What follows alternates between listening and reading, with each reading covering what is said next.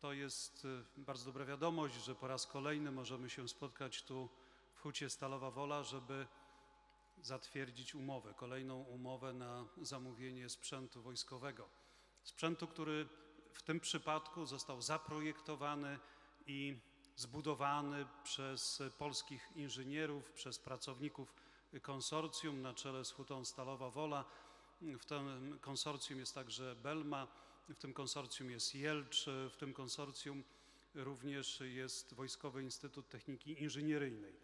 A więc mamy efekt, rezultat e, myśli technicznej, polskiej myśli technicznej i rezultat pracy pracowników e, Polskiej Grupy Zbrojeniowej.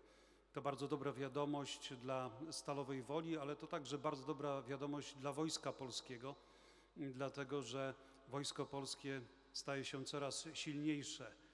Dzięki temu, że jest coraz liczniejsze i dzięki temu, że jest wyposażane w nowoczesną broń.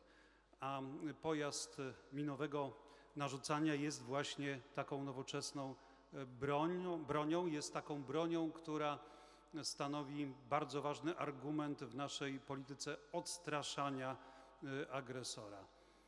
Przed chwilą rozmawiałem z prezesami e, PGZ-u oraz Huty Stalowa Wola.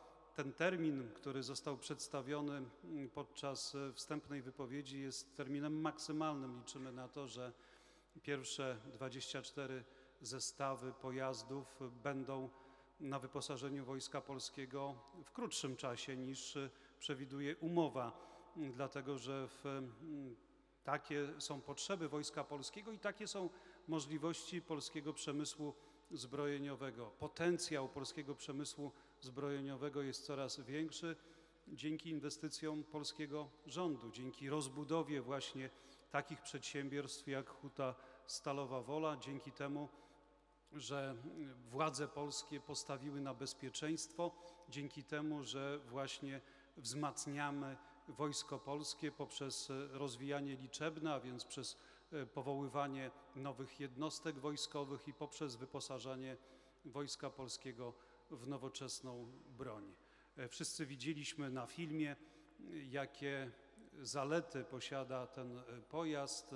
Jeszcze raz przypomnę, że to jest podwozie Jelcza, na którym jest e, sześć wyrzutni. Dzięki temu 600 min przeciwpancernych e, może być ustawionych w bardzo krótkim czasie. A więc wysoka automatyka, precyzja działania tego sprzętu stanowi gwarancję e, budowy zapory, której nie przejdzie agresor, która stanowi właśnie bardzo silny argument w naszej E, polityce e, odstraszania i obrony Rzeczypospolitej e, Polskiej.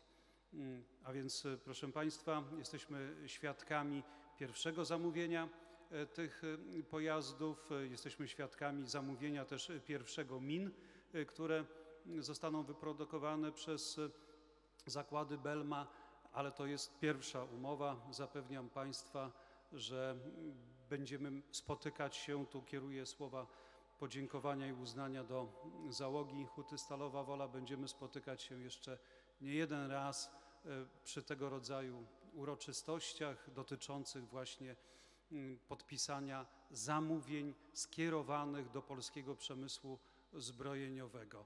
I jestem o tym przekonany także, że e, poprzez fakt wykorzystywania tej broni przez Wojsko Polskie, poprzez fakt stacjonowania w naszym kraju wojsk sojuszniczych, ta broń trafi z całą pewnością także do naszych sojuszników, a więc mm, gama zamówień mm, dla Huty Stalowa Wola, polskiego e, przemysłu zbrojeniowego, polskiej grupy zbrojeniowej będzie z całą pewnością e, większa. Wiem o tym, dlatego że często rozmawiam z żołnierzami wojsk sojuszniczych podczas ćwiczeń naszych żołnierzy z wojskami właśnie natowskimi i spotykam się z bardzo dobrymi komentarzami dotyczącymi właśnie e, polskiego sprzętu, sprzętu wojskowego produkowanego w naszym kraju. Jeszcze raz e, bardzo dziękuję. No i mówię do zobaczenia, kiedy będziemy odbierać, kiedy Wojsko Polskie będzie odbierać pierwsze pojazdy minowania narzutowego. Dziękuję.